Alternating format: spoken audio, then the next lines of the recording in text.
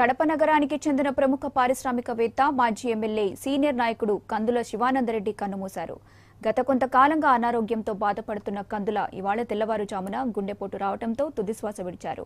Congress party తరపున ఒకసారి ఎమ్మెల్యేగా గెలిచి ఆ తర్వాత తెలుగుదేశం పార్టీలో చేరి అప్పటి రాజకీయాల్లో క్రియాశీలకంగా తన వంతు పాత్ర పోషించిన కందుల శివానందరెడ్డి గత మూడు సంవత్సరాల క్రితం సోదరుడు మోహన్ రెడ్డితో కలిసి బీజేపీలో చేరారు.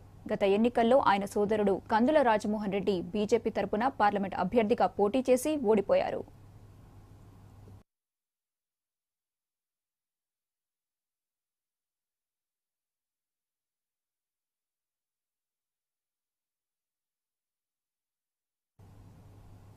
అయితే గత కొంతకాలంగా అనారోగ్యంతో ఉండటంతో ఇంట్లోనే ఉన్నారు. క్రియాశీలక రాజకీయాలకు దూరంగా ఉంటూ కేవలం ఆయనకు ఉన్నటువంటి పరిశ్రమలను ఇంట్లో నుండే చూసుకుంటున్నాడు.